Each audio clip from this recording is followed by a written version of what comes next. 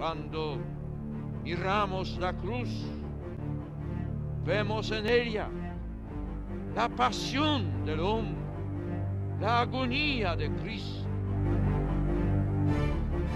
La palabra de la revelación y la luz de la fe nos permiten descubrir mediante la pasión de Cristo la elevación del hombre, la plenitud de su dignidad.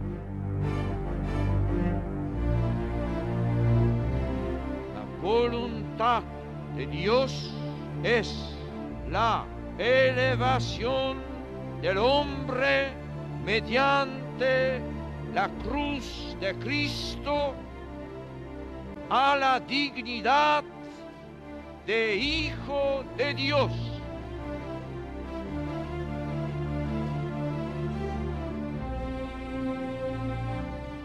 Miremos hacia la cruz de Cristo con los ojos de la fe y descubramos en ella el misterio eterno del amor de Dios